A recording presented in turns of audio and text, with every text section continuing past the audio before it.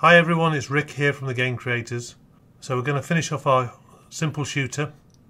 We're in the project now in main.agc. We're going to add some star effects and put some text onto the screen.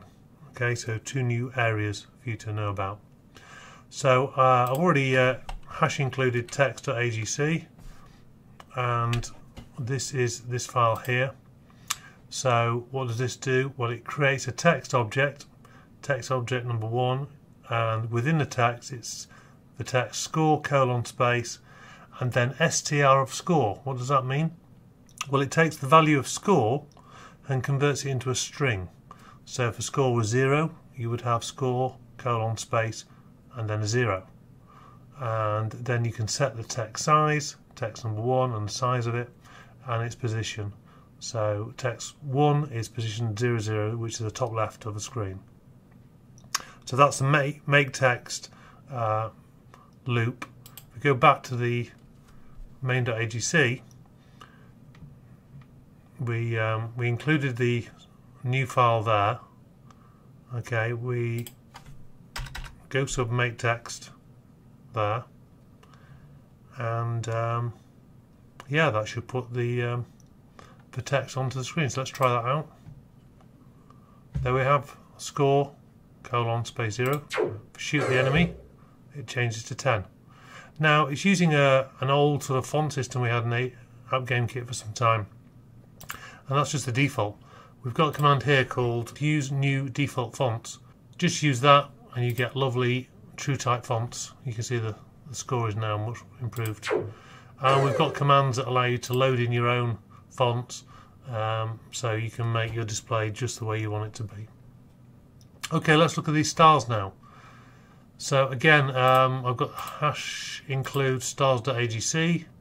Let's have a look at that part of the source code. Um, what does this do? Right, there's two parts to it, make stars and move stars. So what I'm doing is, I'm going to create image color, okay?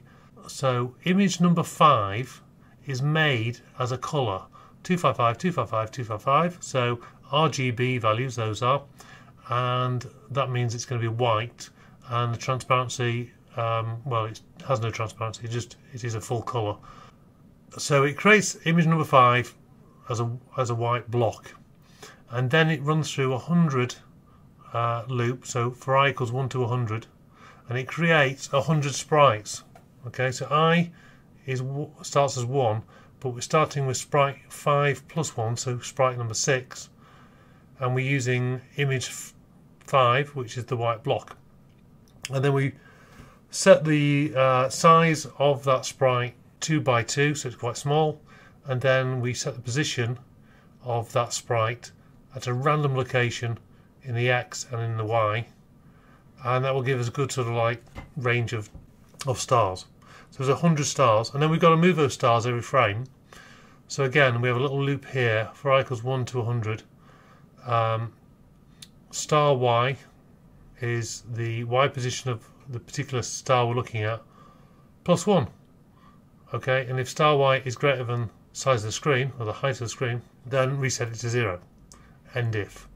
And then set position of the sprite with its current x position and the new star y okay so two parts make stars and it returns from there and move stars which when they've moved it, it returns from there. So let's go back to main.agc and see where they're called. So make stars is going to be called here on the setup. Okay, so before that we had the loader, we've got make stars, make text, uh, load sounds. This is all setup stuff. Uh, we've got some music we're going to load in a moment. And then we go into the do loop. Now if we don't call move stars, let's just run it and see what happens. See the stars are there, but they're not moving. Yeah? So it's still the same game. So let's call move stars. And now our stars are moving. Very simple uh, and quite effective. And another thing you could do, I'm just uh, thinking that off the top of my head, you could call it twice, and obviously you'll get the stars moving twice as fast. Now there's more than one way to do that.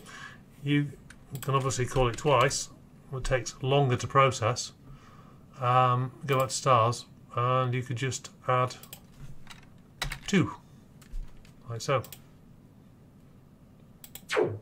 Yeah, and again, if you did four, you get a different result.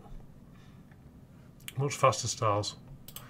Uh, you could even do a random number, okay, between say one and four. I think that's how it works. Oh, not broadcast. Run. And then they're all jiggling around. So each one's having a random value added to it. Um, so there's lots you can do. Anyway, that's.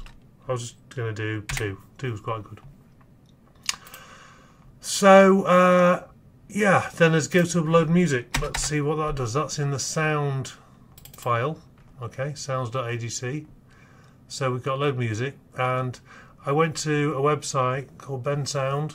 Um, I'll post the link to his website. He does free sound as long as you uh, give him a credit, and um, it's uh, I converted it to OGG format, and OGG is compressed music. It's a bit like uh, MP3, but there's no license attached to it. So you can load music OGG, the file name of the music, and then you can just play the music. Okay, because when we load it, we get a, we get an ID number. We put that into music, then we just play the music. Let's try the game. You can hear the music.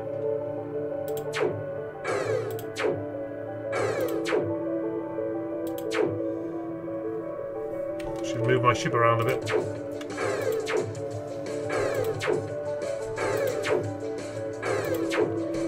And so on. And that's our shooter.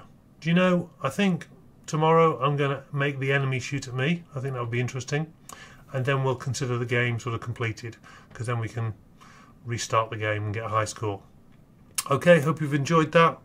Please subscribe, ask questions if you want. Uh, we're here to help.